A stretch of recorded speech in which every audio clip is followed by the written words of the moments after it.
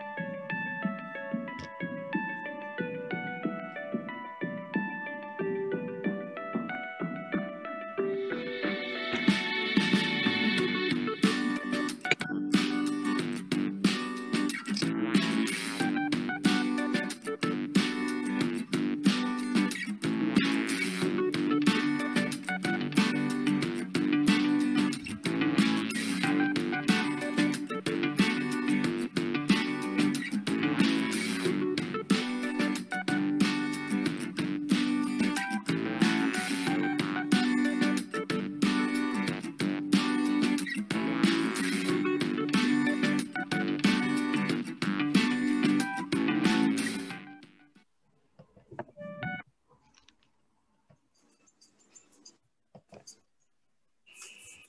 everyone, I'm Aoife Sullivan, I'm Causeway's Events and Membership Engagement Manager and it's a pleasure to welcome you all here today for another Causeway event. Um, I'm delighted we're going to have a really interesting panel discussion here today with a diverse range of business leaders from across remote regions of Scotland and Northern Ireland um, who are going to share their insights and experiences of trading and exporting across the Irish Sea and around the world. Uh, we have, it's really great, we have loads of delegates here today from across Ireland, Northern Ireland and Scotland and our panel today are calling in from as far away as the Outer Hebrides to rural Donegal. Uh, first, I'm just going to give you some very quick housekeeping. Everyone is on mute to begin with, but this is going to be an interactive event. You will have the opportunity to ask questions at the end to our panel, and I'd encourage you throughout the event to leave questions or comments in the chat, which we can hopefully get to at the end of the session. We are also recording today's event um, to be distributed later on our Causeway channels, and we'll send you a link to that once it's up and live. Um, I'm aware we have loads of delegates here today who, who aren't Causeway members at the moment. That's okay. We're a very friendly, inclusive organisation. So I'm going to briefly pass you over to one of our Causeway directors, Judith O'Leary. Those who don't know Judith, she's managing director of her own communications agency, Represent in Edinburgh. And she works with a range of clients in fintech, food and drink, tourism and hospitality, uh, education and professional services. Over to you, Judith. Thanks so much, Aoife. Um, yeah, I'm from Cork originally and now in Edinburgh and very much enjoying um, talking to you today. I've been a member of Causeway for three and a half years and it's an absolutely great organisation to be involved with. It was founded at Edinburgh Castle in 2016 and it really is growing really rapidly. We've got members from across Scotland, Ireland and Northern Ireland and we all share that same interest which is building professional relationships and boosting trade on both sides of the Irish Sea. Our role really is to protect and enhance this trading relationship between Scotland and Ireland, um, no matter what the political or economic environment is. And we've certainly seen a lot of changes to that over the recent 12 months. We really pride ourselves on providing an informal business platform that allows businesses to connect, communicate, and collaborate. And we're really proud of the work that Aoife and her team have done throughout these last six months to make sure that that um, vision is still communicated and continued even during COVID. So you'll be aware that many billions worth of trade is transacted bilaterally between Scotland and Ireland and the island of Ireland every year um, and many thousands of Irish people provide skills and talent into the Scottish industry, and the Scots doing the same throughout Ireland. With the EU exit for the UK fast approaching and COVID 19 impacting drastically our economies, it's now more important than ever using the Causeway platform that we protect those sort of numbers and ensure that trading relationship between Scotland and the island of Ireland is maintained and enhanced. We're delighted our network today continues to grow across our regions um, and we've been bringing more and more Irish, Northern Irish and Scottish professionals from a diversity of sectors together to share experiences and insights through our business network and events programme. Today is a shining example of that work. We continue to work in partnership with the British and Irish Trading Alliance, with whom we offer dual membership and a wide range of be benefits.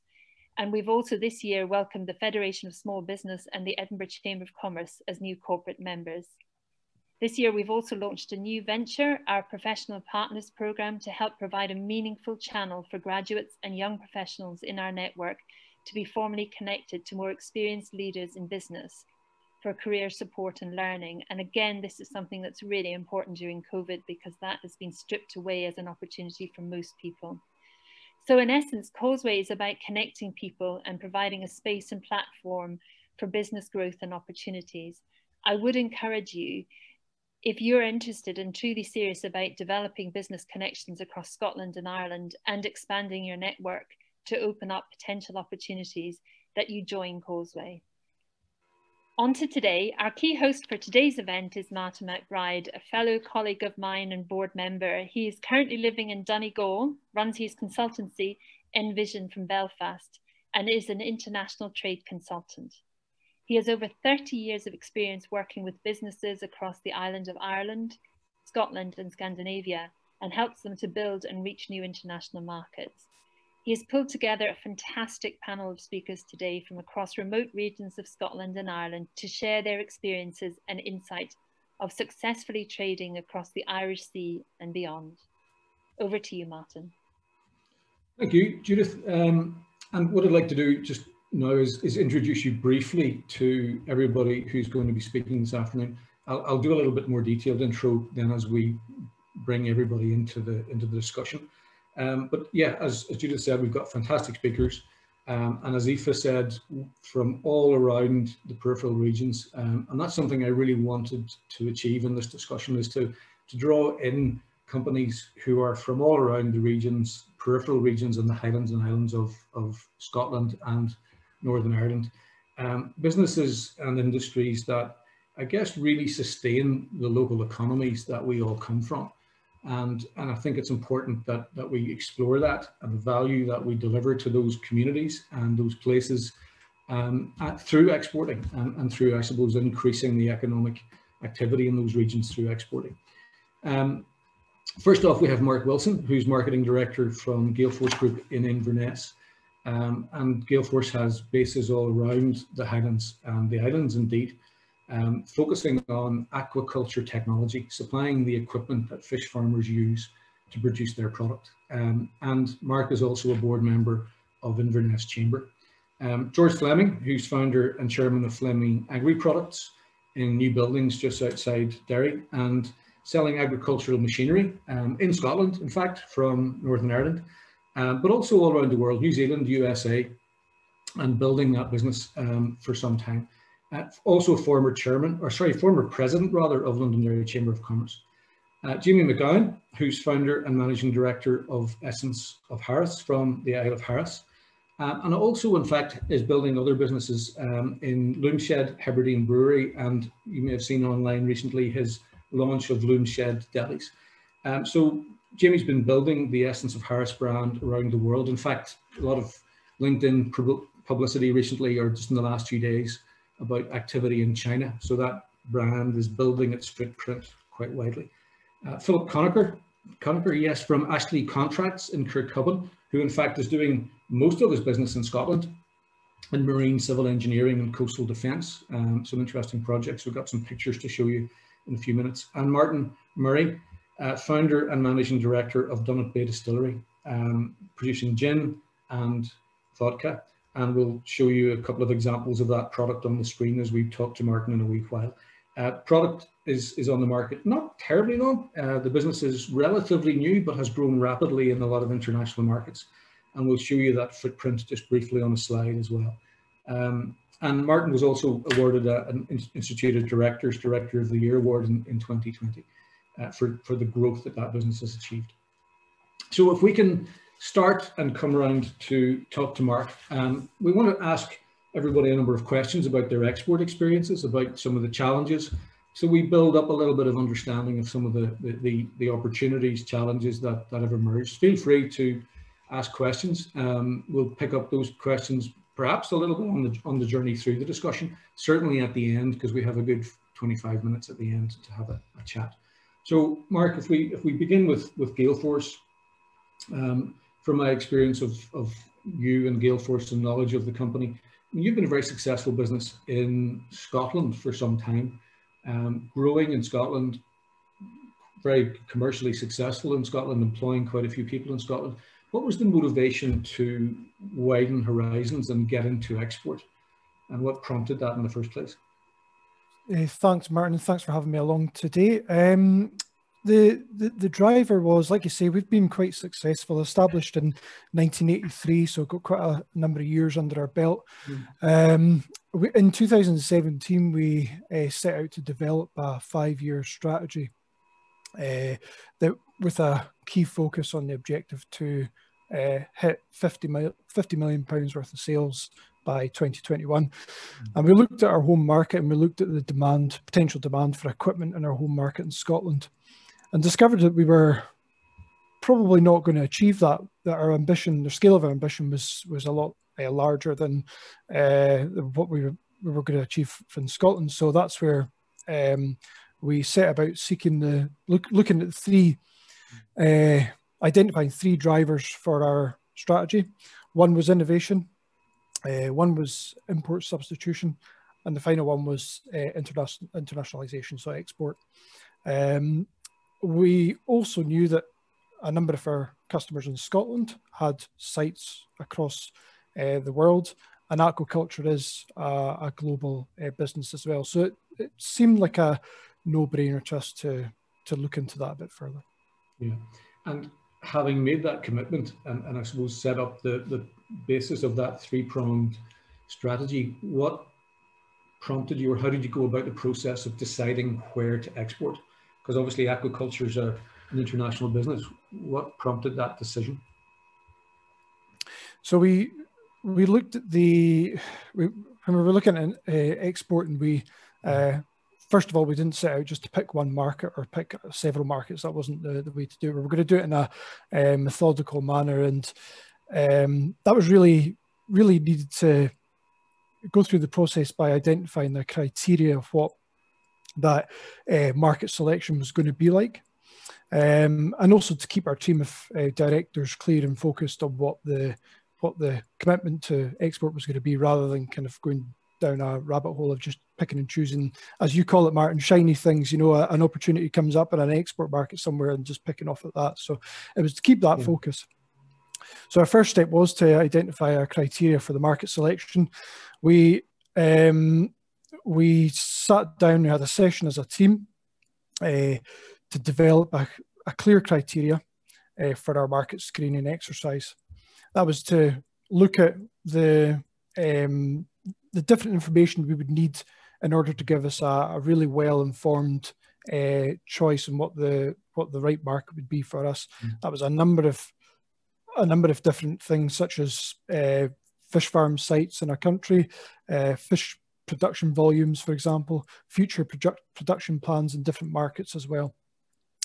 Um, once we had done that and established the different types of criteria that we needed to look at to give us that informed decision, we or I did the desk research, uh, which was a screening research uh, done from the office. So that was a lot of hard work and uh, back and forth, looking at different journals, looking at different websites, industry websites, trade websites, uh, to uh, drill into the, the, the criteria that we were focusing on. So, um, looking at a number of different markets that we were uh, potentially could be looking at and identifying what the opportunity was in each of those markets. Mm. That was it was then a case of coming back to the table for a second session with the team and presenting that uh, that desk research data that we had done up on screen, and as a team, really thinking about what it was what was our you know it was a combination of capability and opportunity rather than just going for the the, the biggest prize as we found out. So just as an example um, norway is the biggest um, the biggest market in the in the in the world for uh, for farmed salmon. Seems like the most on the face of it the most logical place to go to because it's the biggest. Uh, there's going to be lots lots of opportunity there. But in actual fact when we looked at it a bit deeper and asked ourselves the right questions, we discovered that uh, we had done a bit of a SWOT analysis. Mm. We knew we weren't innovative enough. We we were still kind of fledgling in that area, and Norway tend to uh, buy Norwegian. They're mm. you know a Scottish uh, company going into Norway was going to be very difficult to crack.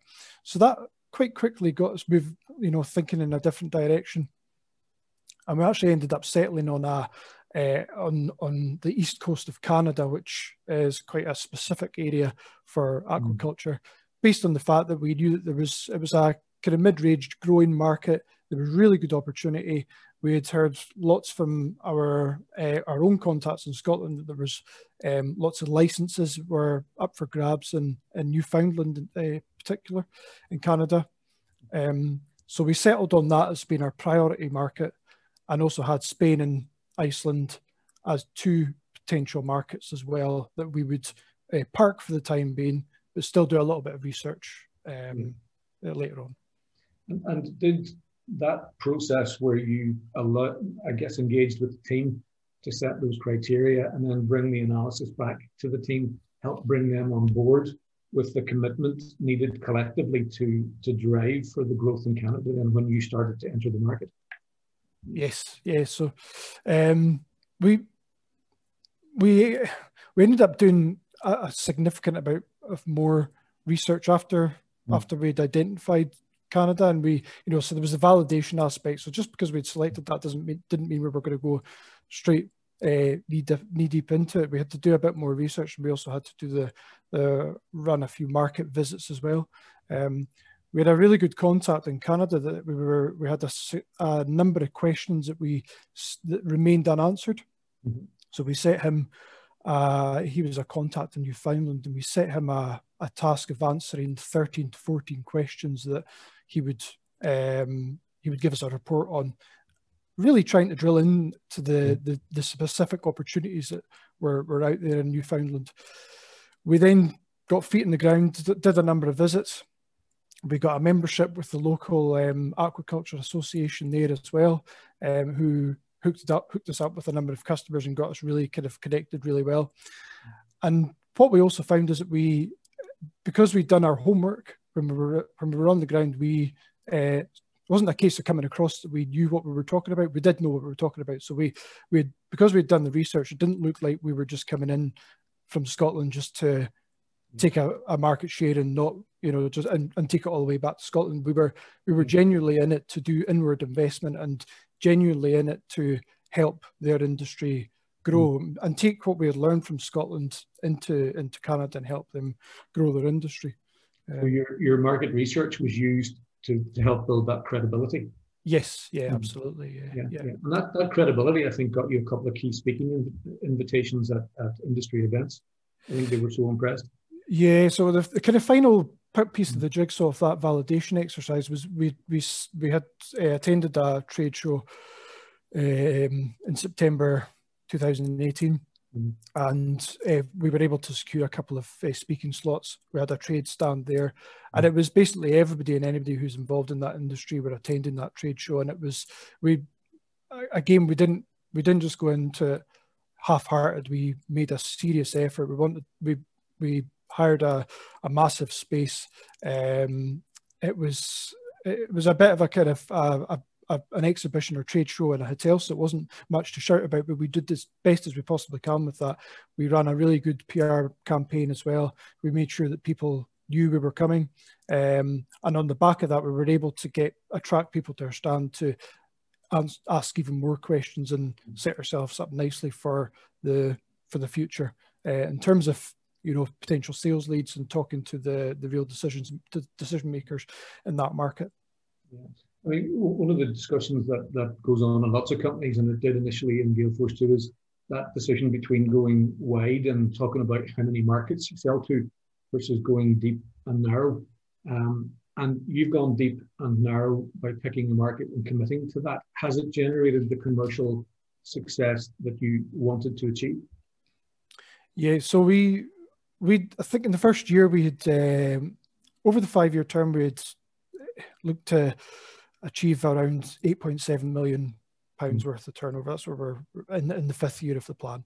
Mm-hmm. Um, in the first year of the plan, we were aiming for around two million pounds turnover. So we'd we'd kind of gone in there what we thought was reasonably ambitious, and we actually ended up surpassing that quite substantially. We ended up with a, uh, and it came through a lot of hard work and back and forth trips to to Canada. We ended up with a massive contract to build feed barges out in um, in Nova Scotia, uh, which ended up being uh, something in the region of a $30 million contract over five five years for nine barges, mm-hmm. um, subject to conditions, of course.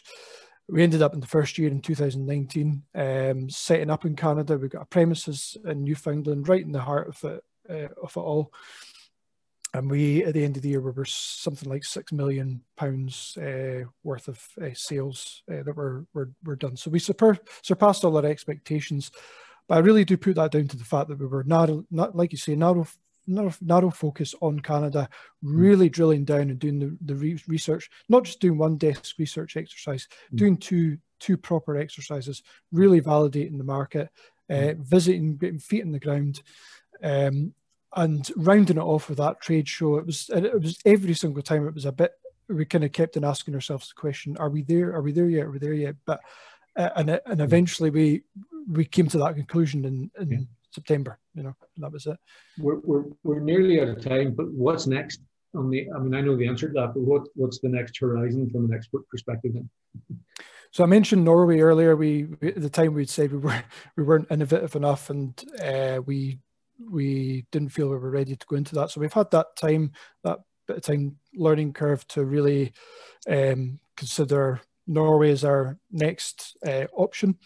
Uh, last year we were at a Norwegian exhibition, which we which we uh, made a big deal of, uh, and ended up getting a lot of uh, really good feedback from Norway, telling us a bit to the contrary of what we believed, which a lot of the Norwegian and big Norwegian companies were telling us actually we do want you to come into Norway or we do need international presence. Mm-hmm. So that gave us a bit of a, a bit of an eye opener. Um, and uh, that's that's next on the card. So we're we're we're you know we feel like we've got the right blueprint for what we've done with Canada. Mm-hmm. Uh, we can build on that and do the same do the same for Norway, but we do realize that we've got we've, this is going to be a much harder task. It's a bigger market, more fragmented, um, and we do need to go into the market with something that's mm-hmm. going to be innovative rather than just um, expecting to be given. There's an argument there for saying not necessarily picking the hardest one first. So Canada has been successful, but also a great learning experience, and Norway is now a bigger challenge with the experience of Canada behind it. Okay. Yeah. Thank you, Marc. Uh, I'm going to have to move on. Um, and, and as I do that, actually, I, I should have done something which was show you very briefly, um, just to, to make it real, um, what does Gael Force uh, do? And, and, people may be aware of this from driving around the countryside. They see um, fish farms on their travels in the lochs and, and, and Scotland. So that's what Gael Force does from on the right hand side of the screen, a feed barge um, with all of the cages um, and all of the piping systems for delivering feed in, into those cages. And then all of the technology piece, which is uh, data collection, seal detection, lighting, underwater cameras. Um, so there's a there's an engineering piece and there's a technology component that, that comes together to build an integrated fish farm system. So Fleming Agri Products, um, again, to show you what Fleming does, um, agricultural machinery for not just small, medium farmers, but um, a range of, of uh, agri applications. And the company is building business successfully in Scotland, uh, particularly actually, in fact, one of um, Fleming's customers is out the backyard behind Gael Force's site, which is Highland Industrial Supplies, um, but also much more uh, widely around the world. And maybe my opening question, George, is in fact, maybe give people a flavor for the markets that you've opened up and developed over the last number of years, George. Yeah. well, good afternoon, everyone. Uh, I suppose, you know, we, we also started in 1983 and uh, initially uh, our initial plans were basically just survival. Mm. And uh, for the first 10 years, that was basically what it was. And uh, from the early mid 90s, we started to expand out. And we were initially we were just supplying uh, to Northern Ireland, and uh, because I'm born and bred in Donegal in, in the Republic of Ireland, I didn't see uh, selling to the Republic of Ireland as that much a difficulty, or even seeing it as an export. But technically, that's what it was, because in those days we still had the uh, we still had the border and customs to deal with.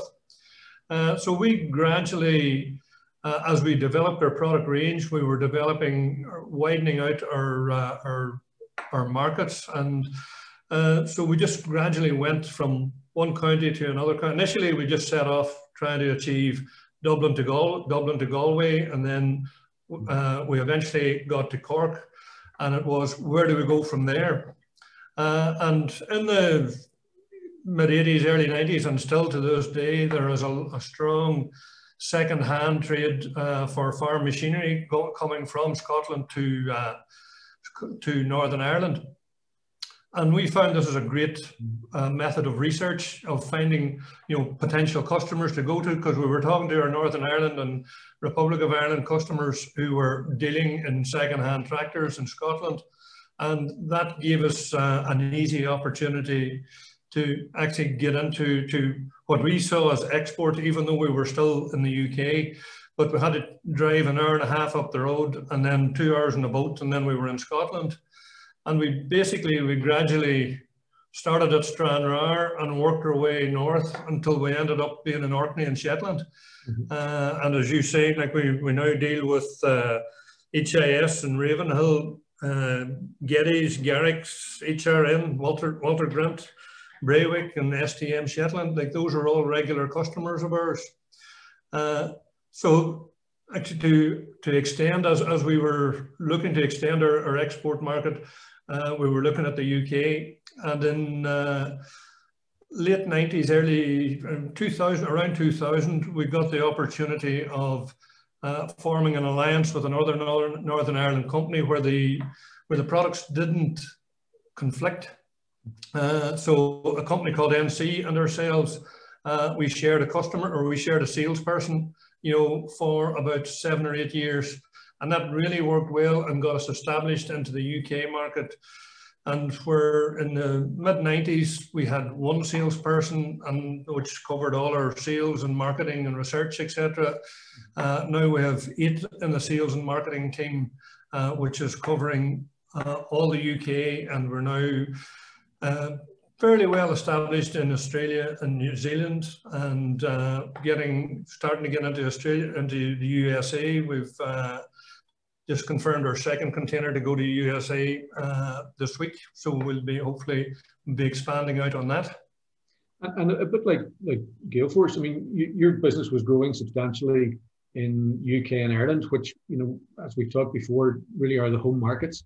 But what what was the driver and the catalyst to really take on uh, export, especially given that some of that exports in the southern hemisphere and is far away and quite challenging? Well, um, I suppose um, we've always had a we've always had a desire to challenge ourselves and to uh, develop ourselves to uh, the best of our comfort zone. And uh, as we keep, we, we always try to create the demand and then build the capacity. You know, slightly ahead of, of for capacity. Mm. And every, but every time we built capacity, we tended to eat it up in the home market. So we were developing that. Yeah. And we also soon learned that you know, going out to sell a product was quite difficult. When you go out to sell a range of product, you can block a lot of your competition out. Mm. And over this past number of years now, we have developed our, uh, into a niche market, uh, basically um, uh, a unique industry offering uh, where we would, over several different market sector segments, uh, we offer a complete range of product. Mm-hmm. And that allows uh, our customers who want to buy a bale lifter, a trailer, a yard scraper, a transport box, a vacuum tanker, a muck spreader, uh, they can get the complete range from us. So when you see a delivery going out of our, uh, of our yard, there could be 15 or 20 different products on it at any one time. Yeah. And you know, you, you talk about why do we go as far as uh, Australia or New Zealand? Well, Australia, New Zealand, USA, they all speak English. Their laws are basically formed on UK laws. Uh, their accounting systems are much the same. Mm. Uh, so it's actually it's quite easy to communicate with them, even though they are quite far away. Mm. Plus, when we fill a container here, uh, and send it to New Zealand. It's two and a half thousand pounds. Uh, we fill a lorry here and send it to the West Country in England. That's probably 1,500 to 2,000 pounds. And we can get a lot more packed into a container because our, our, uh, our importers in New Zealand and, and, Australia, as they say, they don't want any fresh air in the container. So because we've got a, a, a quite a wide mix of product, We can put in big products and then fill in around it with small products and build the value up in the container. They're probably quite ingenious at packing, all right. Uh, can I uh, flip it around the other way uh, and say, you know, and it's quite characteristic of everybody around the screen. What are some of the, the challenges, or, or do we see them as challenges of building what is a significant export business in quite a peripheral region? Because I mean, where we're sitting now and we're not far away from each other, um, we're in a what would be considered a peripheral region, as are some of the other guys. What are some of the challenges of getting over that? Well, there, there's certainly a challenge in the fact that where we are, we're you know 40, 50 miles from the nearest dual carriageway or motorway. Uh, all the uh, the main stockists, stockists of our raw materials and components are either in Belfast, 80 miles away, or in Dublin, 150 miles away. But we also see that as uh, see that as an, as an opportunity, you know, because if if we were based in Belfast, you know, the land that we would need to buy, the, the size of the site would cost us an absolute fortune to buy compared to buying it here. We would be competing with uh, a lot of high-tech companies, you know, the likes of uh, Fintech and, and uh, Terex and, and Caterpillar, etc. Uh, so we would have to compete for staff at a much higher level. Whereas here in the Northwest, it's uh, we tend to train the biggest end of our own staff, and we have a very good working relationship with the Northwest Regional College. And we would take on between six and 10 trainees every year, bringing on, uh, you know, welders, fabricators, etc. So that those are guys that want to stay at home. They don't want to go to university and end up in, uh, in England or wherever uh, they, they're quite happy staying at home. And our, of our of our welding our welders, we've about 35, 40 welders. I'll guarantee 30 of them have been trained by us. Yeah. So I, I see as uh, you talk about a peripheral region, uh, again, it's it's not that big a disadvantage, you know, mm. because when we're selling to New Zealand and Australia, we can fill the container here. We still have to get the boat, you know, so the, the main expense is on the boat. Yeah. Uh, so that's not that's not that big a problem. Okay, I think partly it's in the head too, and, and, and we're used to it. Um, another question. I mean, um, how has COVID impacted on the whole export process and the journey in terms of either the perception of customers being impacted or the practicalities of doing it? Well, I suppose at the start of this year, um, in which we were talking to yourselves, you know, in our marketing, sales and marketing plans, and we had a full itinerary of shows laid out for ourselves. We had uh, you know, we had a full itinerary of market visits for Australia, New Zealand, you know, the Nordics, Europe, um, and all that got shelved. Uh, our regular salespeople, you know, uh, calling with our, our, established customers in the UK and Ireland, uh, basically couldn't go out. But then that was the same for everyone. Mm. So we were all competing on, on a different level. Mm. And um, other than the, the initial three weeks in the start of April, uh, we were basically, we've been open full time other than that initial lockdown. Mm-hmm. Uh, so we've been able to maintain uh, our production. Other than that, I suppose we lost a month or six weeks when you take uh, shielding letters and various other things. So we lost a month or six weeks, but we kept everything, we tried to keep everything going and we had a good stock at the start of the year. Mm-hmm. Now, initially we had quite a bit of uh, work to do with, you know, getting our uh, factory markings and shielding and putting up perspex uh, uh, screens, you know, to protect the staff, making sure everyone is wearing masks, put up extra washing facilities, uh, closing the gates, not allowing, like we really don't want uh, salespeople coming in to see us. Lorry drivers, we expect to stay, we try to keep them sitting in their cabs. And other than that, you know, we have worked quite well through it. So we've, we've sort of learned to work with and we've had a life within COVID rather than you know combating it. And, and the, the agri market has been pretty resilient, I think. Well, um, yes, you know, if you look, um, we're, we're quite an old established family business. Like I'm the fourth generation of my family. My son's in the business is the fifth generation. Uh, and if you look through the years, you know, we've dealt with BSE, foot and mouth, the troubles, First World War, Second World War. Uh, there, there have been quite a lot of things that have affected it.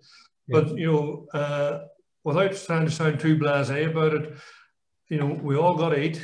And uh, yeah. we're, we're in, the, even though we're an engineering facility, we're in the food processing business, you know, so everything that we make uh, has a, has a, a an effect uh, or has a, an working relationship with food production. Doesn't matter whether you're a vegan or a meat eater or whatever, yeah. you know. So uh, our products are all in the in, in the food processing industry, mm-hmm. and you know they're what's the there were seven the world population is seven point seven billion, I think now, and yeah. I reckon it's going to go to eight or ten billion by 2050.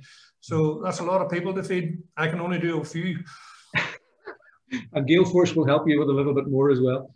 Okay, George, thank you. Yeah, yeah. We'll widen it out. And they can do the fish course. Indeed. we'll widen it out. And Martin will do the gin after, but we'll talk to him in a wee while. Um, okay, thank you. We'll, we'll have some more questions, I suspect, from around the screen in a wee while. Um, I'd like to introduce you to uh, Jamie and, and to show you uh, just quick visual impression of, of what Jamie does. And this is only a little bit. I know he does other things as well but the essence of Harris brand comes from Harris, as, as it says. And I suppose this montage of photographs shows a little bit of a sense of place and where he's from, and the Glasgow store and some of the products. Uh, so quite a change from that food supply chain and, and the slightly more engineering aspect of the food supply chain to, to an entirely different product offering, but equally very important in terms of the peripheral regions of Scotland. And, and I suppose my opening question for Jamie is, really about the importance of place to your brand and the provenance of the brand and how that travels globally. Yeah, hi, hi everyone. Um, it's lovely to be here this afternoon. Thanks for having me, Martin. Um, yeah, for ourselves, I mean, you know, Martin, you've spent time with me before. I mean, we are extremely proud and extremely passionate about our island home. You know, once you feel the sand between your toes on the Isle of Harris, you never create a memory like that again. That's you. You're. I don't. I will argue with anyone that say they don't feel a special moment when they feel Harris under their toes. Mm. Um, and for us, we wanted to try to create that memory that, you know, when people are off island or overseas, whatever, we can still gift them that product that helps them keep thinking about Harris and the quality of life that Harris brings. It's not just a holiday or a vacation or whatever. It's it's a way of life. It's and Harris is one of the islands in the country that carries that stamp of heritage, provenance, quality, because Harris Tweed set the path out for us many decades ago, you know. Yeah. So for us, it was, and the other great thing about what we do is it runs out the same as Martin's gin. So people, if they love it, they need to buy it again. So that that was also very, very important to me that we created something that people use, but also that it runs out and they have to use it again because anybody can create a business anywhere in the world that you can sell something to somebody once. Mm-hmm. Um, you know, our repeat business figures are over 40% on our website. Wow. You know, that's that's strong for mm-hmm. us, and that's the only reason that our business has been allowed to mm-hmm. grow and develop is because people support us, and we're extremely, extremely thankful for that. And the other guys that spoke before me, you know, spoke with great passion and endeavour and what they're doing and things, but they missed one key point out, and you have to have the crack along the way. You know, it has to be fun. You have to enjoy, you have to enjoy the journey. It has to be good because we're there's enough. You know, we have to work hard and we have to give everything we've got to our journey, but we need to enjoy it. Like yeah. it's paramount. Yeah, no, and, and and your your social media, for example, demonstrates that all the time. It's the it's the the life. In fact, I, I should say, and, and we had this chat yesterday with George you couldn't possibly cover anything in 10 or 12 minutes. So, so there are parts of it. Uh, George keeps all the crack parts private conversations. we'll maybe cover that later on. Um, yeah. Okay, but you know, you're you're even more peripheral than the rest. But one of the advantages you have is maybe that peripherality is completely overcome by the the name recognition your your island has around the world. Yeah, I mean, you could be in the most remote part of the world and mm-hmm mention Harris and they know Harris Tweed, as I mentioned. So, and then mm-hmm. we've, we've got the new worldwide phenomenon, which has been Harris Gin mm-hmm. as well, and the gin industry as well. So it's mm-hmm. much like Martin's Gin. It's picked up and it's ran across the universe with it, and they're in many, many countries throughout the world. So for us, it helped to make Harris a little bit relevant again. And then Essence of Harris came on the scene, and we've been, you know, we're quite quirky about the way we do things. We have a young, dynamic team that work here because, you know, as long as I've got a good strategy and a focus on where we're taking it, the young people that we surround ourselves with, they've got that fear of failure that makes us sort of pretty ambitious and pretty dedicated, and also makes us pretty bulletproof, really.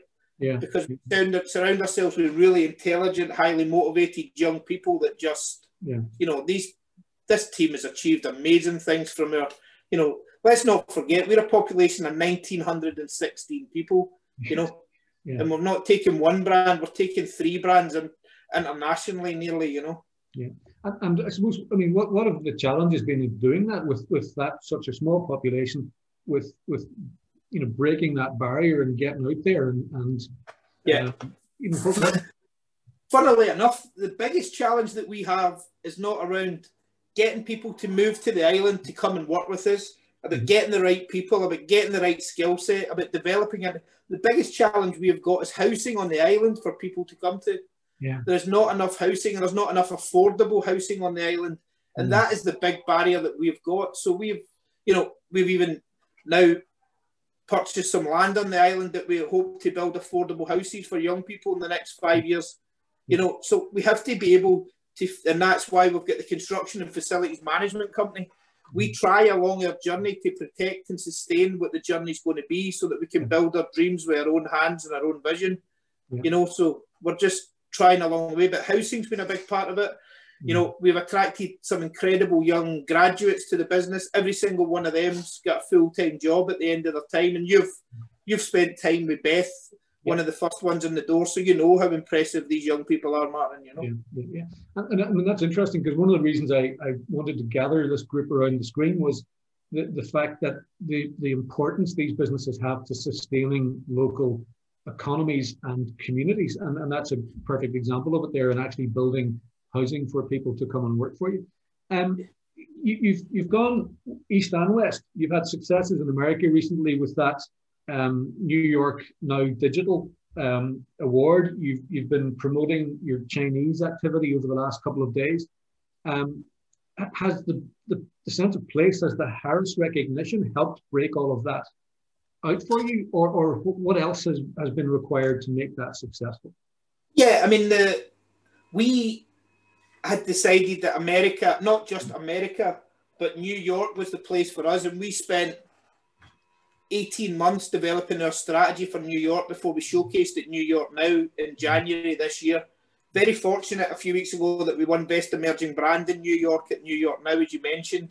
Yeah. Um, plus, last year I was lucky enough, like Martin, to win Director of the Year for Institute of Directors. So these sort of things platform you yeah. and giving you opportunities you otherwise wouldn't have had. Because, mm.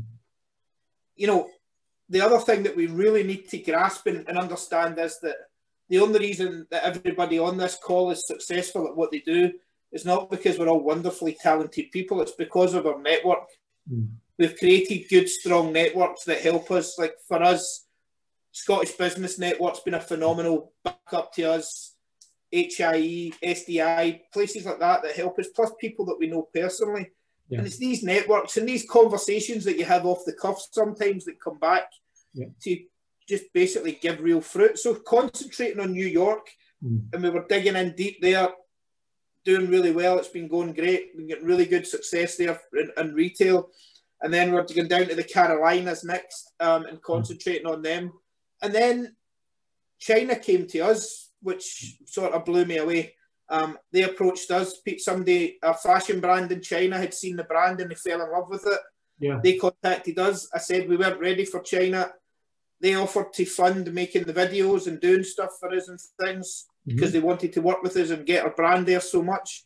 Yeah. So we took a little toe in the water with them and we've built an amazing relationship with them now. And, you know, hand in hand, both places are just picking up nice momentum for us now, and we're very, very yeah. fortunate. We will not try to go much further at the moment. Yeah. We will concentrate, dig deep in where we are just now with these two relationships, mm-hmm. um, and really there's no point running all over the place when there's a lot more um, ability to pull more out of where we are at the moment, especially mm. New York. If we can really sustain ourselves in New York, and then on the back in New York, one of the biggest fashion brands in America, mm. um, Anastasia Beverly Hills, come on to us and asked if she could stock our products in her Beverly Hills salons. Mm-hmm. So we're now got our candles that were being made in a kitchen in of Harris five and a half years ago, sitting in the middle of eight salons in Beverly Hills. Brilliant. So it's, it's incredible. Yeah, yeah. Very, very fortunate. We're very fortunate indeed. But, but you've also been very good at, at um, using the publicity of those successes to, to fuel further success then as you've been going along. It's a new world we live in. Yeah. You know, we yeah. use Instagrammers, bloggers, a network of people that can promote our brand by. But mm-hmm. the one thing that you have to remember when people are promoting and you're promoting your brand, Mm-hmm. Your products have to be good or you're falling your face. Yeah. You know, the fact that our products are good, people don't want to promote brands that are rubbish or the mm-hmm. quality's not there or they're not sustainable, they're not ethical. Mm-hmm. So for us, you know, it's an evolving process, but we're working towards being that brand that is flying the flag as a Scottish luxury fragrance and home living brand. And there's a mm-hmm. real gap in the market to be filled, and we want to be the company that does that. Mm-hmm. We want to be that brand that people leave the house mm. and say, "Oh, yeah, I want to be, I want that Joe Malone candle. Don't like that because that's just for when the visitors come. You know, we want, we want that Essence of Harris to be the brand that people aspire to have in their living room. Yeah. But we also want to keep it at a price point that they can afford to burn it and enjoy it. Yeah, and come back for more. Absolutely. Okay. Exactly. Thank you. Listen, we will move on, and there'll be loads of questions, I'm sure, um, about Harris, about the successes, about the learnings. Uh, Thanks very much. Listen, Aoife, there's a there's a little poll that, that there's a question Aoife wants to throw out there to everybody about your perceptions of export, and uh, if you do that now, um, people can answer that question and uh, and just share some thoughts. But we'll, we'll, maybe share the results in a wee while because um, what I want to do is is move on and talk to Philip. Um, and when I, as I do that, if I can share screen, I think I can still share screen um, while Aoife's doing that. Yes. and I want to just give you a quick visual of, of what Philip does. Um, in fact, I'm going to stop sharing for a second to change the presentation. Um, here's Philip's.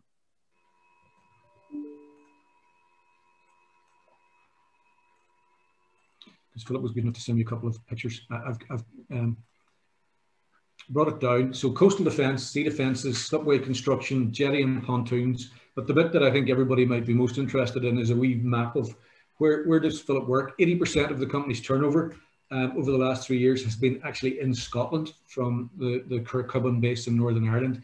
And just some really nice pictures of the range of work done. Breakwaters in Inishmore, uh, which is in Ireland. Um, and then uh, Greystones on the east coast of Ireland. Um, and Marc might be interested in these because you could put some great pontoons and marina uh, facilities inside those breakwaters. Um, and an airport that I haven't been to half enough in 2020, only once actually, which is Sumburgh on Shetland. Um, and hopefully we'll be back to in the near future. And then also um, a, a, a project in um, Peterhead, which is a primary fishing port in Scotland, and then extension works into Aberdeen Harbour. There's a big project going on there. So that gives you a feel for the work that um, Ashleigh Contracts does. Um, Aoife, the poll, is it finished? Yeah, that's it. Can you see the results there? It's on the screen. So what are the, uh, what do you think the biggest challenges in building a sustainable and recurring export business are? Establishing an understanding of the export market um, comes out as the top. Um, finding the right partners, absolutely. And I suppose finding or establishing that understanding is, is one of the things that Marc emphasized and, and not just doing the initial research to pick the market, but going deep into establishing real insights and then in fact using that knowledge in order to build credibility amongst the network of people that they started to engage with in, in those markets. So, you know, as a phrase I've used with a few people in the past, is market research becomes a tool or even a weapon to be used in your market entry process to build that credibility. And we'll talk to Martin particularly about building partners um, in a wee while, but both of those are challenges, but challenges that can obviously be perfectly uh, overcome. So Philip, thanks for joining us. Um, I, I whizzed through those photographs quite quickly, but they're they're uh, great visuals. You obviously have a drone uh, that you can use to, to take those those pics. A um, couple of questions, I suppose. I, I, really was going to ask you how important Scotland is. It's 80% of your business, pretty much. Uh, why did you? Why have you built the business so strongly over there from your Northern Ireland base? I think really uh, the way we're quite specialised in terms of what we like to do. Jamie talked about uh, liking the feel of the sand, looking at his feet. Uh, we're something similar. We don't like to be too far from the water, and uh, Scotland has a great coastline, and Mother Nature has a great habit of uh, testing that coastline and testing the structures that are either within a harbour or mm. any new harbours that are to be built. And to be fair, most of the infra infrastructure projects in recent years have been across in Scotland. Mm. So really, uh, we have we've really chased the work, and that's how we have ended up in Scotland over the last number of years. Uh, you know, way back in 2008, it was prim prim primarily Ireland. We're out in the Aran Islands. We're down Greystones. But in recent years, most of the action in terms of marine civil engineering infrastructure projects has been in Scotland. So we've we've just wanted to be part of that. And, and I mean, an interesting question, which which hadn't put on the in, in briefed you in advance, but let me launch it anyway. Which is, does the island of Ireland have we underdeveloped our coastal infrastructure and the economic opportunity that creates? Not not overly. Now there were some major infrastructure projects in 2000 and well 2007 through to 2011. Most of the hmm. work was in Ireland. Hmm. Uh, with the decline in the economy at that stage, a lot of those projects were shelved, so we had to redivert our attention. There is more hmm. focus back into the marine sector in Ireland, and we are starting to see more tender inquiries coming through for the type of work we do and for the coastal defence uh, type of work. But uh, Ireland's quite a competitive market as well, so it's hard enough to pick up the work back in Ireland. So yeah. really, from our perspective, Scotland has been much more easy to concentrate on and uh, just to have, remain and have a presence and a focus there. How is the, build, the business built in Scotland? Is it are relationships important, or does it come down to that tendering thing you mentioned just now? It, it comes down mostly to tendering, but also relationships uh, in terms of main contractors that we have worked for in the past mm. uh, that do invite us back, and clients for that respect, for that matter, have invited us back. Mm. And in some cases, it's nice to be brought onto a project because they know you can do the job for them. Where where we're where we are in Aberdeen at the moment is the is a testament to that.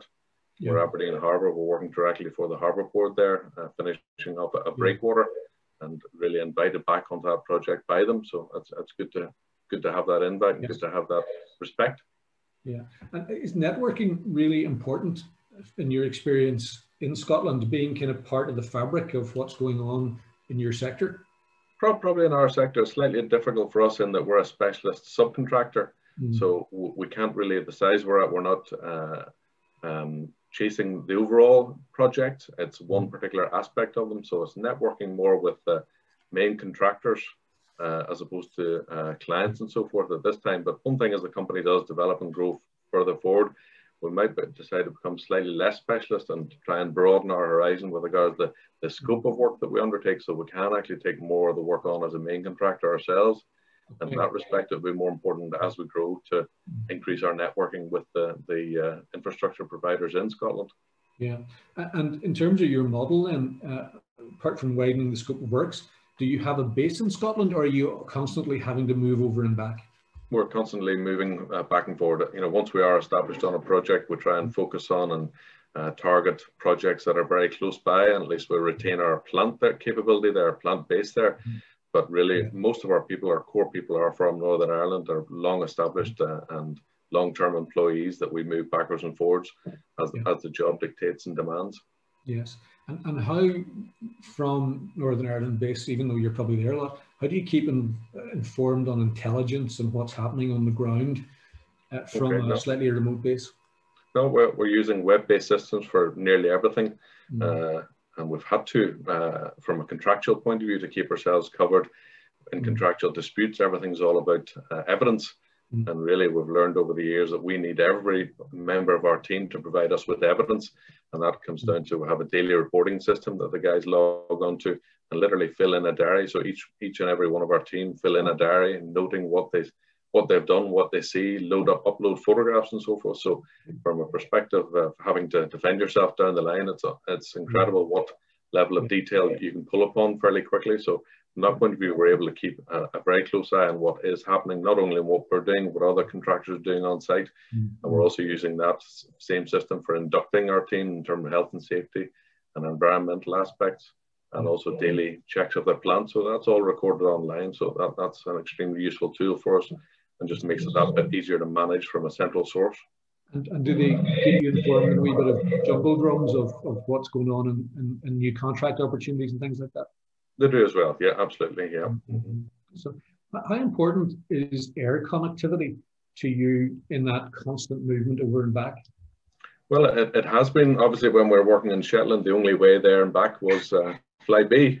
Yeah, so yeah. we made extensive use of, of that, and up until Flybe's demise, you know, our annual expenditure with Flybe would have been 28 to 30,000 pound a year in the last two or three years to actually get our guys uh, there and back. And what they tend to do is work on a fortnightly uh, rota basis where they're on site for 10 days and home for four.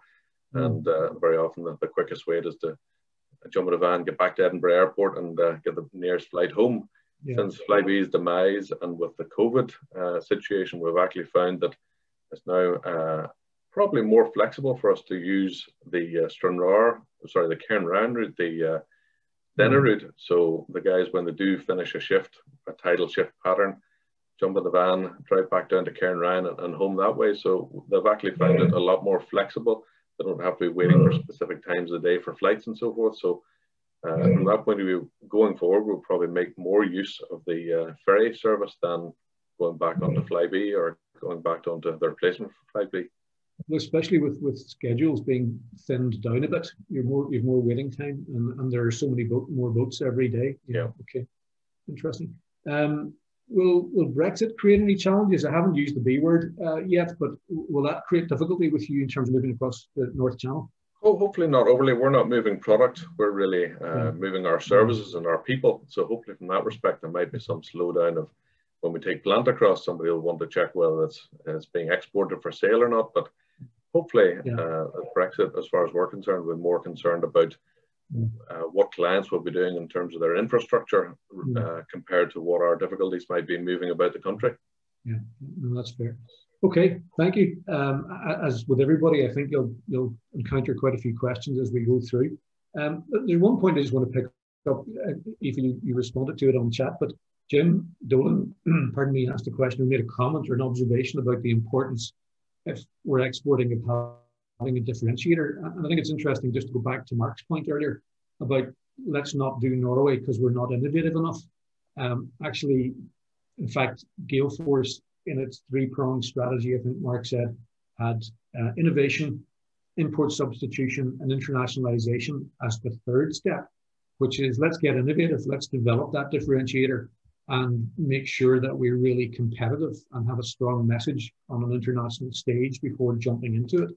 Um, I think that's uh, an important point. Um, so sometimes we, we might want to, but we just might not be ready. Uh, I guess George's point was the differentiator partly is having a broad product range, and it makes it more attractive to the dealer than to have a, a competitive, complete range to offer offer the, the customer. Um, okay, I, I, want to um, move on and to talk to our final speaker. Um, and Martin will say, of course, I've left the best to last, but um, I'll say it before he jumps in and says it. Um, let me just show you this slide.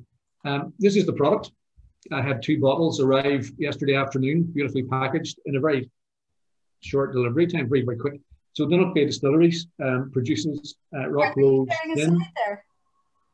So, oh, sorry, is it not? can't see it yet, yeah. I do apologize. Um, me talking rubbish. And there we go. Now it's there. Um, let me just put it up on the screen. Now everybody should see it. I'm sure you've not drunk that two bottles already, Martin. Is that right? yes, I was lying to you earlier when I said I didn't have the gin here. I do have it quietly under the desk. Um, intravenously, Mark. Uh, no, this is the, the Rock Rose gin product and Holy Grass vodka with, little, with all of the awards that this product has uh, won, or the product range has won. And, and, as Jamie said, those awards, those recognitions can be terribly important in, in the brand traveling into export markets. And just to give you a quick snapshot of some of those export markets, there are several in there. I think there's 13 potentially. Number 13 is Spain. but there are that gives you a quick smattering of the range of export markets that the company has built its brand and its presence in. And if I can come to the, some of the questions maybe that we'd like to explore, um, you know, when, when you and uh, your wife Claire set up the company in 2014, you know, was there a clear vision about what you wanted to create, and was exporting central to that at that stage? Not really, actually. Um, I, George made a good point about business when in the early days where you want to survive. We had a business plan back in 2013 where we knew what we, we wanted the business to look like. Um, but actually behind that, the real sort of driver for us was to create two jobs, one for me and one for Claire, and for that to pay the bills. And that was really not in the business plan, but that's what we wanted the business to do. But within that business plan, yeah, we did have clear objectives. We had things like um, we wanted to export um, within year three. Um, we wanted to be in London in year two. Um, we wanted to have a presence outside of the Highlands within the first year. So we were new to the industry. Um, I worked in oil and gas, Claire worked in events and hospitality. So we set fairly, um, I would say, low expectations for what we could achieve. But we wanted to find our feet. We wanted to grow the business. We wanted to have the control of the growth. And that's where our business plan was written. Mm. Um, now, what happens is some things um, in life happen that you're out with your control. So before we launched, we won the best launch design at the World Gin Awards. So mm. immediately we were on other people's radars, and we've not even made a bottle of gin.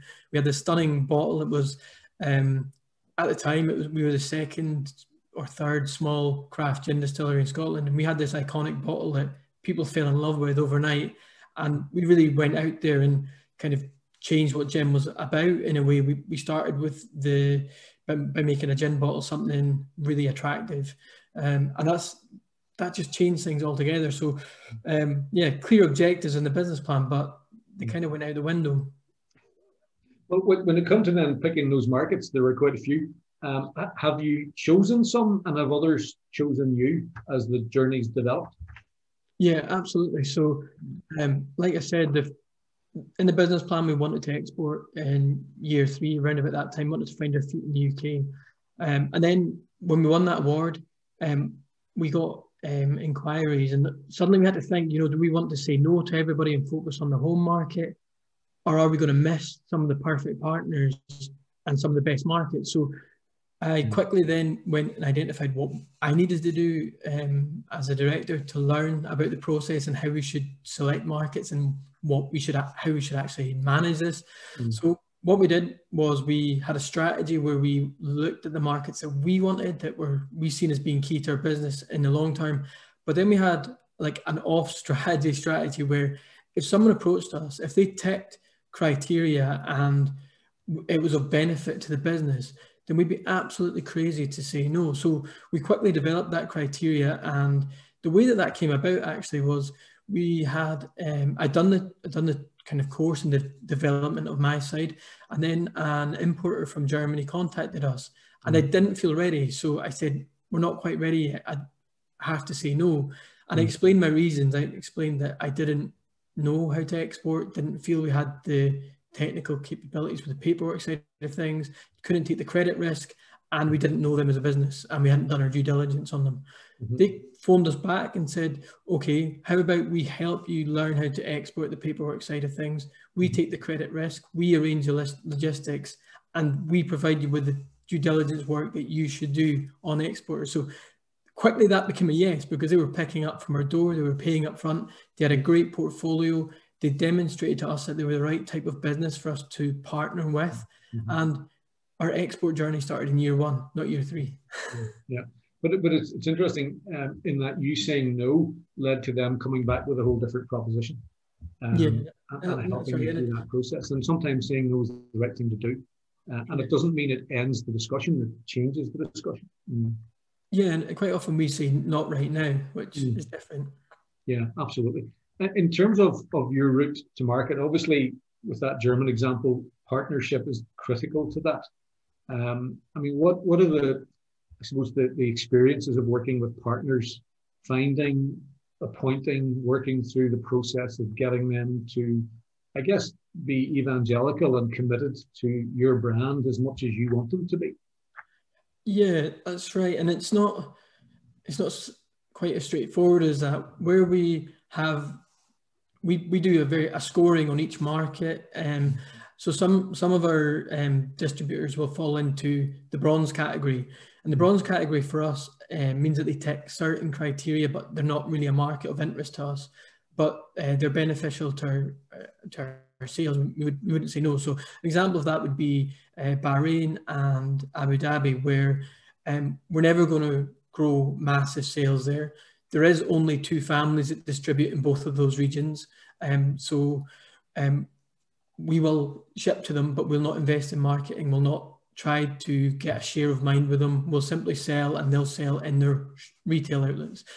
But then you take it to the other extreme, which is our platinum market. So um, the USA being an example, we want a share of mind. We want them, we, we believe that's where the most potential is. Our research has um, identified that. Um, and that's where we'll invest the most money, the most time, and we'll make sure that the partner fits with us as a business and our aspirations. And it's difficult. So the additional complication you have in the US, which is different to other markets, is there's an additional tier. So um, in Germany, for example, our importer is our distributor. But in the US, our importer then has to find distributor partners. So you have to make sure that, that the partners that they're finding match with your expectations. And then you've got to then get the share of mind, not just with the importer, you have to get the share of mind with the distributor. And the only way we found to be able to do that is to get in the market. So I've been out to the US um, four times, would have been six if it wasn't for this year. Um, and that's again, it comes down to the scoring of the partner, where we'll spend the most time, the most money, um, and other resources which would, would help. Yeah, okay. And picking up that US example, okay, the travel hasn't been as much as you'd have liked, but that partner is now in place and having taken the time to choose carefully, and I suppose, as they say, measure twice, cut once. You know, you've taken a lot of time to get that right. Is that generating returns within expectation? Yeah, absolutely. Mm. Absolutely. Up, up until this year, we were um, ahead of where we wanted to be. We were about 20% up on our bottle, bottle sales in the US.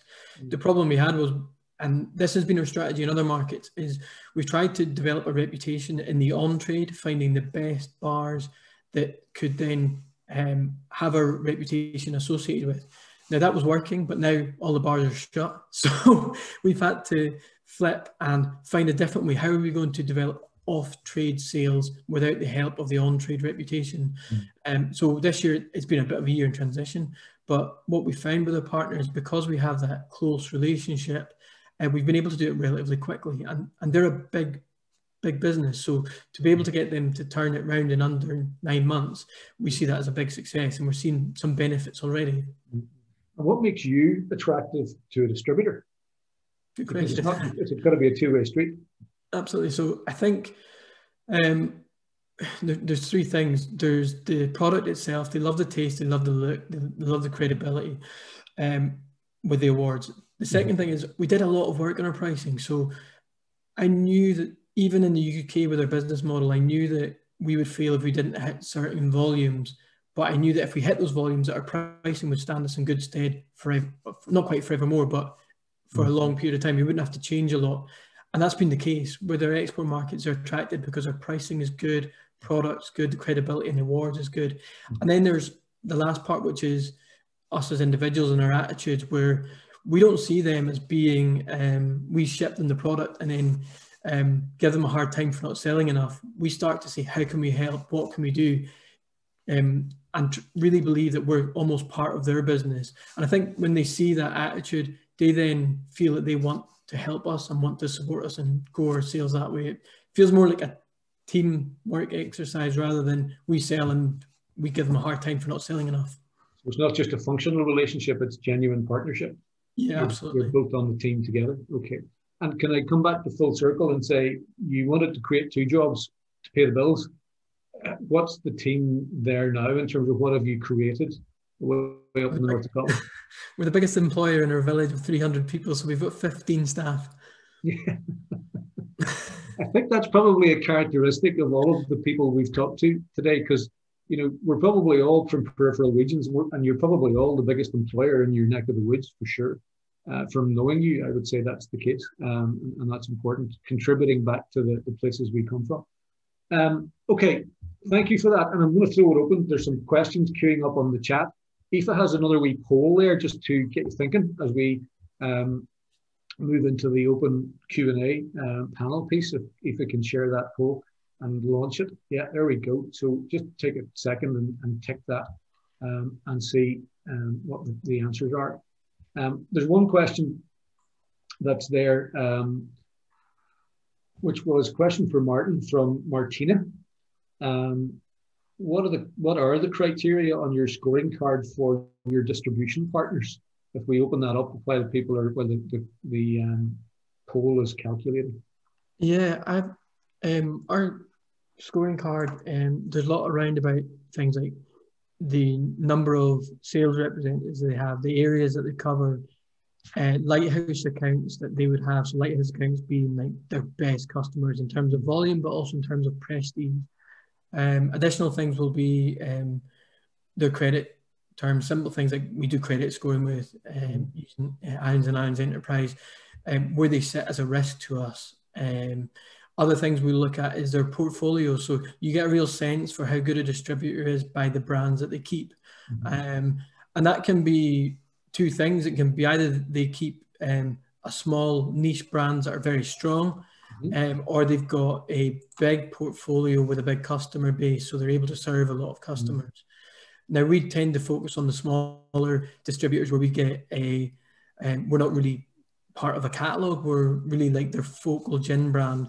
So mm. they'll only have two or three gin brands and we feel comfortable with that. Whereas some of the other distributors can have a thousand gin brands and mm. we're not comfortable with that. We don't see that as a way to build a brand. Okay. So we have all of those types of scoring. Um, mm-hmm. uh, and then that builds up. I've got the report. I'm happy to share a report uh, or scoring card if that helps. Okay, well, I suspect Martina would be particularly interested in that. She's in the beer business.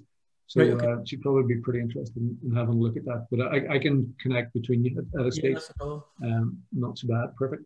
Um, yeah, just pick up the poll. I mean, uh, the question we asked was in a post-COVID world, assuming we get to a post-COVID world sometime soon, um, how will international business function? And as George says, we, we have to get on with it. We're going online. Um, and we've had that conversation with a number of people. We'll never travel as much as we used to. Yeah, quite a few people are of that mind. I hope we get back to some, but probably not as much. Not as much of the frivolous stuff where you just hop on a plane for things that actually, on reflection, really didn't need it. Uh, trade shows and exhibitions will be virtual for a long time. Um, and there's some good practice out there now on really good online virtual events and the technology platforms to make them less agricultural and quite slick are improving all the time. Um, so we, we, need to we need to actually get in the TV business a wee bit. All of us as salespeople, um, to make sure our events are slick, our backgrounds are slick, our lighting is good, our sales studios look look strong. Sales will be much more online, so we'll have to have that almost TV standard of, of production, especially with new customers that don't know us and are, are getting to see us for the first time on a screen rather than face to face. That's challenging. Um, okay, I'll, I'll, knock that down. There's a, there's another question um, from Colin Walls from COVID-19, working capital has become challenging, um, particularly in international trade where working capital cycles can be extended, although it depends on your payment terms, I guess. Um, have there been experiences around the panel where suppliers or buyers have sought to change the terms because of the COVID situation to maybe take advantage of it? Anybody want to pick that up? Has anybody had that problem? No? Okay, good. No, not so much on that. The big big problem for us all probably is the raw material costs are going up and up now. Yeah. So, you know, when you've got a product like ours that's on the shelf for a certain price, and mm-hmm. You know we can't expect our customers to be hitting the pocket because so it's just finding a way through. And I think people are going to be a lot more understanding coming out of this that everything's going to be more expensive. Well, it's already more expensive, considerably more expensive yeah. glass coming in from Europe and overseas and stuff for us, you know. Mm-hmm, mm-hmm. Absolutely. Yeah. Okay. I think everybody's margins are getting squeezed a wee bit, all right. Um, yeah. One thing I've managed to do is to get I'm, I import in one of my businesses I import loudspeakers from the USA and mm. because their sales have been so poor but I've remained positive and I've probably been their best seller worldwide I've managed to persuade them into sending me stock without having to pay for it whereas previously I had to pay for everything up front okay. so because the market is so depressed it's not a bad time to try and make new deals if you mm. are managing to keep your business ticking over and doing a bit of business for other people yeah yeah so, there's some positive in it you know yeah, yeah, absolutely. Uh, especially, it depends, I suppose, on how important you are also to them in terms of building business. But the, for, for volume, they'll probably negotiate and trade for sure. Um, from Ian Mackey, there's a question there. Um, TV standard adverts, uh, since that um, came up, uh, what have the participants done to up the quality of their output and their visuals and their advertising? Uh, he, he says he has a vested interest in the answer as he, he, he has a TV studio and the ability to take up our games collectively, I guess. So what what have what are we all doing, or have we reacted to that yet? Yeah, we've we've done personally here at Essence. We've done a Sky TV ad over the last six months. We've done an STV ad. We've been we were lucky to be part of. We are on a Channel Five TV program a week on Friday, Secret Scotland with Susan mm. Calman. Yeah. Um, and we are running a radio campaign in Glasgow from next Monday. You just have to be visual, you have to be on it, and, and we are doing a huge marketing and visual rebrand for the start of next year. So that as we do hopefully come out of COVID and that, we have got a whole new look, new feel, new identity for people to really fall back in love with it again, you know. Absolutely. Good. We're we're probably not so much on the TV advertising. We we don't do any of that, but more along the lines of uh, the challenge that we have with uh, exhibitions that we were planning to do next year. Mm. We have uh, we have Plan B that we need to crack on to immediately, which is to really uh, think about doing something next year, which is a super um, kind of virtual exhibition, which takes in, which is just what one that we own ourselves and takes in likes of webinars, talks, um, customer forums, getting some really good discussion and trying to build up quite a lot of that um, impression of Gael Force being a really good go-to knowledge base uh, for uh, equipment and technology in aquaculture sector. So that's uh, although it's not kind of around about advertising, maybe kind of t- touches on the mm. the uncertainty around exhibitions that we're certainly we're certainly finding at the moment. We're at that kind of cut cut off point now where we really need to commit to something because we hmm. have a, a queue of suppliers that are asking us what are we planning to do you know in terms of building physical build of stands and all that kind of stuff and you know hmm. committing to travel and hotels and actually it's not as much as we know everything that's been said about vaccines this week, it really still feels a wee bit, uh, a, little bit away uh, in terms of exhibitions. So yeah. that's what our plans are at the moment. Yeah, and coming back to you paused on the advertising word, and I think if we treat that flexibly, what you're trying to achieve is a platform that establishes a knowledge leadership uh, um, platform, I guess, in the industry as being experts in your field and not selling, really selling subtly and under the radar through that knowledge leadership. Yeah, absolutely. Yeah. Yep. Okay. Um, can I ask how many people here normally would attend trade shows, just to show hands, with your product? I take it the cost of that kind of gives you the bulk every time you go because the costs do add up, don't they? It doesn't um, give me. It doesn't give me the bulk. Gives my MD the bulk though. Aye. um, see if there was a product, which there sort of is, that we're working on developing, where instead of you sending 20 staff to a trade show, you could send five VR headsets and we could render your sales space or your office or your product in a 3D environment, but then add cameras to that. And the people at the trade show can put on a VR headset and they're in your office or your sales room looking at your product through a camera, but in a virtual environment, in a rendered environment of your office how many people would that be of interest to? Yeah, that would be of interest. Well, I think it would. Although I think I think Gael Force are uh, partly down that road. Some of your VR stuff is quite good, yeah. um, and, I, and I think everybody's going to be corralled and forced down that channel um, quite soon. And, and we should be doing it anyway, but I think we're all going to be forced to. Can, can we're I, working that already, actually. Anyway. Yeah. Especially with the Chinese market. Yes. Yes, Re- really important. Listen, a couple other questions because I'm conscious of, of time. Um, don't like keeping people late, but there's a um, Neil Handy says uh, we're dealing with importers and exporters. Great to hear what the panelists have done around um, managing foreign exchange risk when researching new international market, and then in the longer term in managing, I guess, the revenue risk.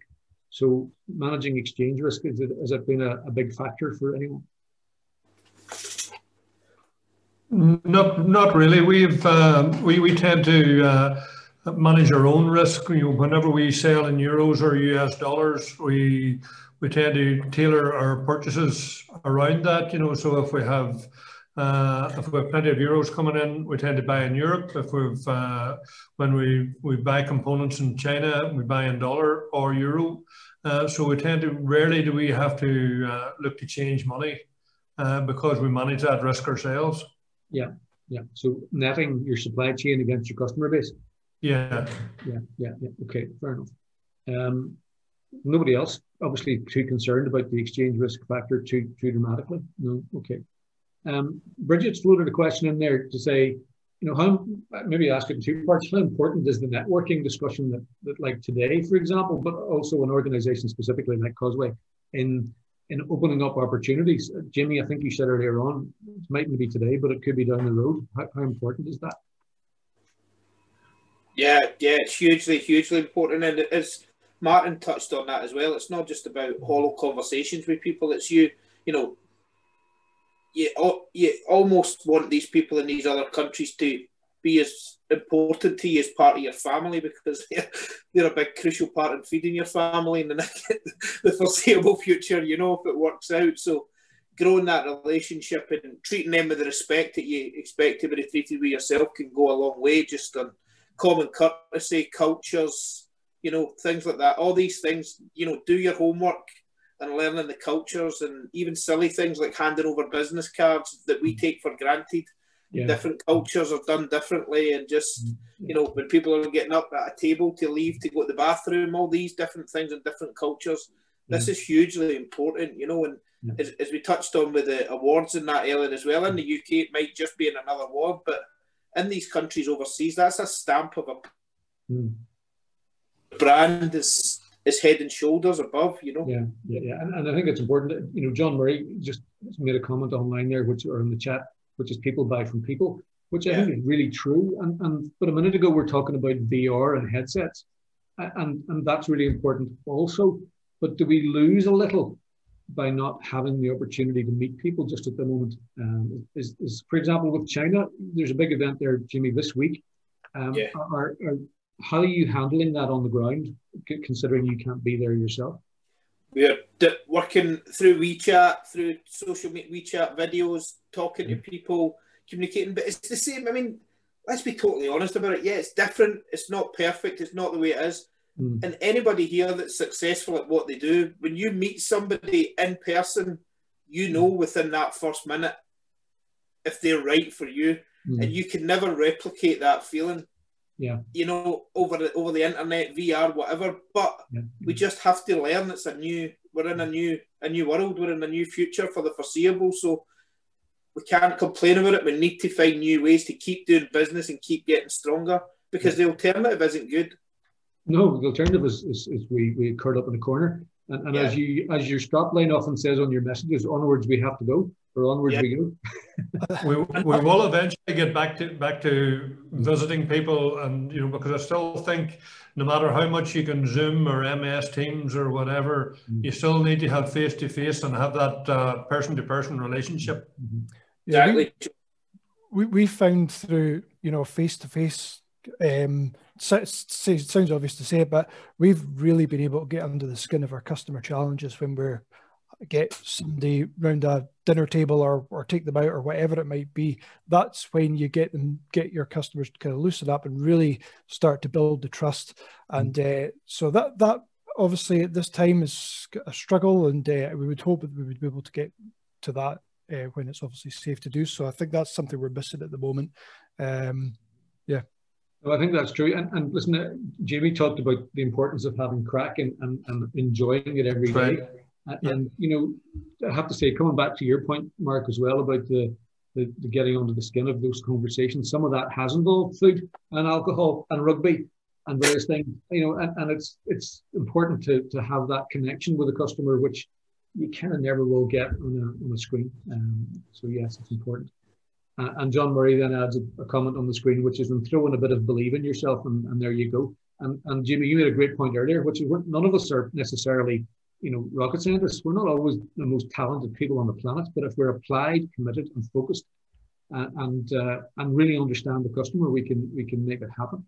Um, well, if anybody follows me in LinkedIn, they'll see that my grammar is absolutely awful, but I managed to run three companies with, a, with an amazing team of people making me look better every day. But you've got to also embrace your Absolutely. weaknesses, you know. Totally. Listen, there was a comment that I meant to pick up earlier that I, I skipped that Eugene made, uh, Eugene Mullen, and it was about um, the importance of great design. And it made the point that Martin had the bottle before he had the gin. Um, but also, I think from your perspective, Jimmy, the importance of great design in building the, the brand is probably absolutely critical. Yeah. Oh, one million percent. And you know, we, we evoke the sense of smell in people. I mean, this new stuff comes out mm. in the, in the turn of the year, you'll see that we're going to be playing on another one of people's senses as we move forward with that as well. So it's all about just trying to keep finishing that journey that we started by mm making people more involved and more more into what we're doing. And as Martin said, mm. if you can do something that's a little bit unique and different and, and cap own that market before other people get in there, yeah. you get a great. But again, I keep going back to it. What's in the bottle is just as important as what's what the bottle is, you know, and it's the same for us. What's in the glass or what's in the box is just yeah. as important. So it's, it's got a huge part of that. Mm. Is you know, yeah, the visual is absolutely imperative, but you mm. have to have, you know, mm. you have to have absolute quality in there as well. Yeah. Now, I mean, design does not have to be about the pretty things. Uh, you know, for example, in Gael Force, um, you know, a, a feed barge Marc could be essentially a concrete cube, whereas the feed barge on that visual we showed was quite slick and quite well designed. Uh, is, is that aesthetic part important to the customer?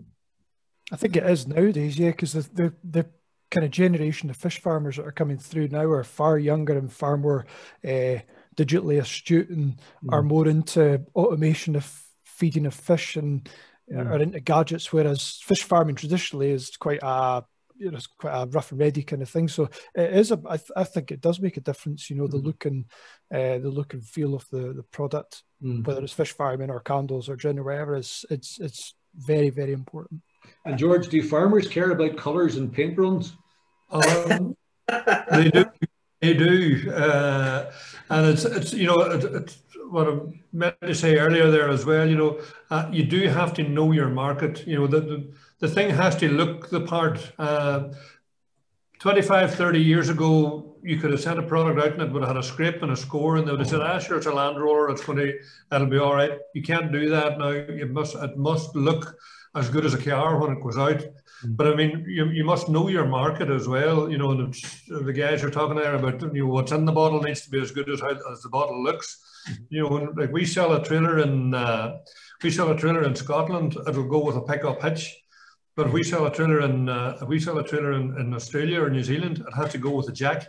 Mm-hmm because the, the, the, thing is too expensive to have put a, a pickup hitch on a tractor. Yeah. You know, so they have to have, you know, so you have to know these small subtleties uh, that the market demand rather than just what you're giving them.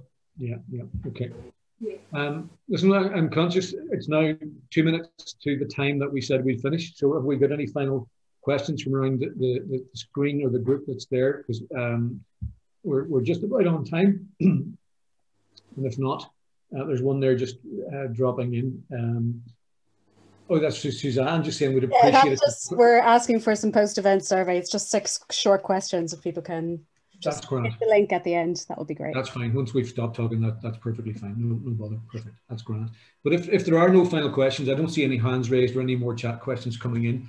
Um, what I'd like to do is thank all of you absolutely hugely for spending the time with us this evening. I've enjoyed the chat. Um, hopefully the panel have enjoyed hearing um, and having the opportunity to ask some questions. Um, you know, coming from a, a, very rural area and a small peripheral region, I have a strong commitment to the importance of companies sustaining local communities. Uh, and that's why we're all here today. uh, and we're all succeeding and impassioned and driven by success and, and employment and building houses and attracting people to, to the regions that we come from and long may that continue. So thank you very much for your time. And if you can take that survey very briefly, that's great. Uh, and equally, come back to Causeway, join us, um, come back to the networking events, join the, or, the, organization. We're hoping to have a big bash in, in, in uh, a dinner next summer. Watch this space, come visit the website and keep informed on that. And um, and feel free to come back, come back and visit us again. So thank you very much indeed. Thank, you. Thank you. Thank you. Thanks, Martin. Thanks, Thanks everyone for coming along today. Uh, if you want to come along to our forthcoming Causeway events, you're very welcome. And for those of you who don't know, who aren't currently members of Causeway, we have corporate memberships from 315 quid. Be delighted to chat to you to tell you more about the network. We'll be in touch anyway in the next couple of days with the link to the recording of today's event. So thanks everyone. Uh, hopefully catch you soon at the next Causeway event. You're very welcome. Have a good evening.